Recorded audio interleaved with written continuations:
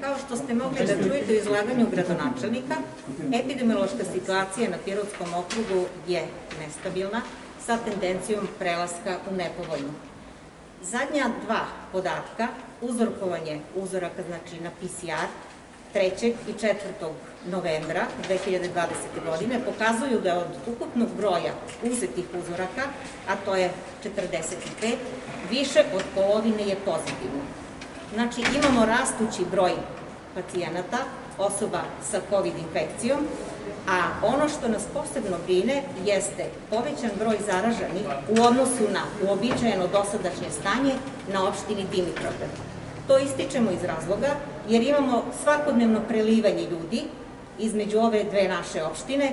Veliki broj zaposlenih je ili u opštini Dimitrovgrad, a živi u Pirotu ili obrnuto, ili su to učenici koji putuju na relaciji Pirot-Dimitrovgrad. Znači, ono što je još jedan put najvažnije kao apel, odgovornost lična najpre, a samim tim e, sprovodeći i pridržavajući se svih tih protivepidemijskih mera i sprovodeći tu odgovornost ka sebi, mi u stvari sprovodimo i činimo zaštitu od COVID infekcije ka našim najbližima, ne samo članovima porodice, nego i našim kolegama, zapošljenim i svima ovde u našoj lokalnoj zajednici. Poštovanje protiv epidemijskih mera je neminovno, kako u javnim ustanovama, znači tu su i zdravstvene ustanove, škole, preduzeća, tako na otvorenom, znači i zatvorenom prostoru.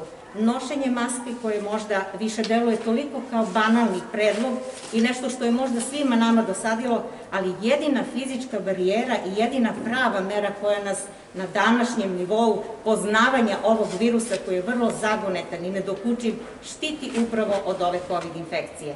Naravno, distanca koja je tako vrlo važna i preporučena, metar i po do dva udaljenosti i redovna dezinfekcija ruku i svih radnih površina, naravno podova i svega u zavisnosti od toga gde se nalazimo.